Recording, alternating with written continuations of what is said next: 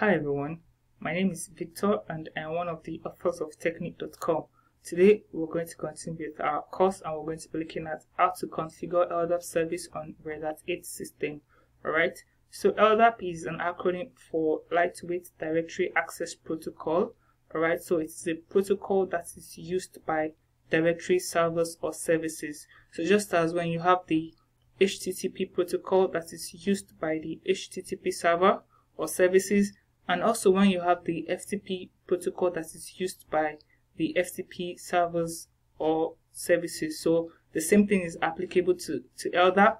LDAP is a protocol and it is used by directory servers all right so we have um different examples of directory servers or software we have the active directory which is owned by microsoft we have the oracle directory which is owned by oracle we have the um, OpenDJ, the OpenLDAP, we have the Red Hat directory servers. So we have a lot of directory servers. So what is actually a directory server? So a directory server um, or a directory services can be used to organize the structure of an environment. It is used to provide authentication to users and groups and gives access to IT resources they need. All right. So if you're conversant with Microsoft and with Microsoft Active Directory, you would see that Active Directory is used to give access to um, IT resources. All right. And also, of course, it's also used to organize the structure um, of an environment and Directory servers, they have different organizational structure or hierarchy. All right. So, for example, the Microsoft Active Directory has a different structure from the um, from the Open LDAP. All right. In this um, tutorial, we'll be, we'll be, looking at the Open LDAP um, directory. All right. Those are the common ones we have. We have the um, Microsoft Active Directory and the Open LDAP um, directory server. All right. So how does Open LDAP or LDAP work? Alright, so when you enter your credentials, an API call is initiated, right? And if your credentials are correct, that is the, the LDAP directory server found your credentials to be correct, you will be authenticated and authorized, but if not, the call will be denied. And one of the advantages of Open LDAP or LDAP services is if you have hundreds or thousands of users, that needs to access the central server. Instead of creating user accounts on individual servers, you can create the users on the server with security policies you wish, or you, you even put them in a group and every one of the users can log into the server from their servers, alright? So that their servers will be the client.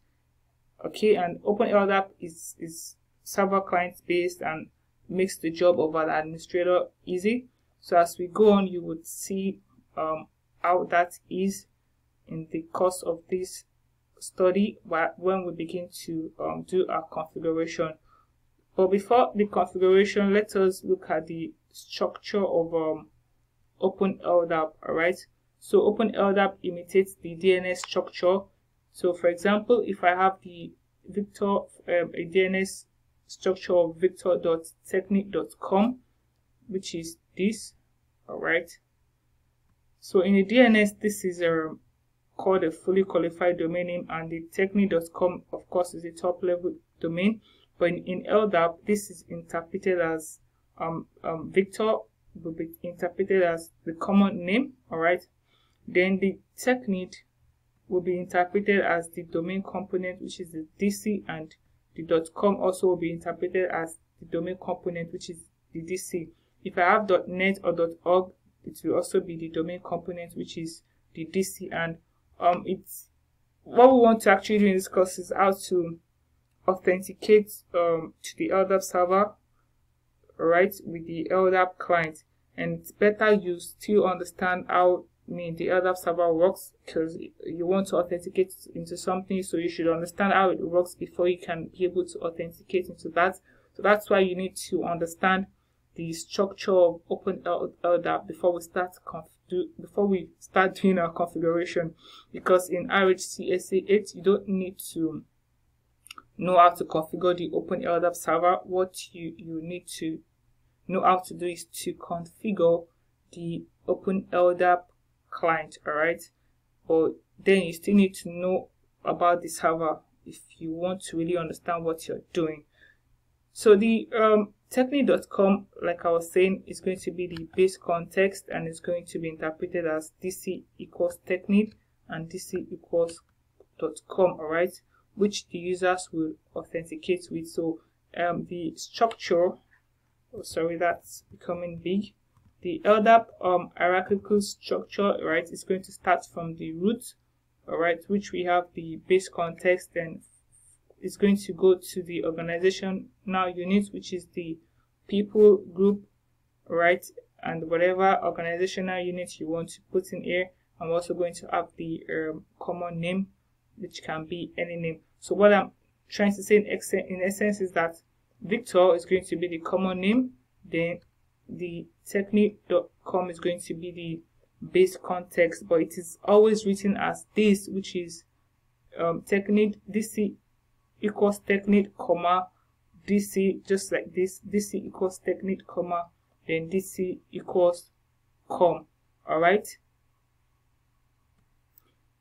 In one of the videos I made, um, I've, I've done the step-by-step -step process of how to configure the um, LDAP server on Red Hat 7 and how we can also authenticate with the Red Hat 7 so I, I, am not going to um, do the video of how to configure the OpenLDAP server in, on Red Hat 8, alright?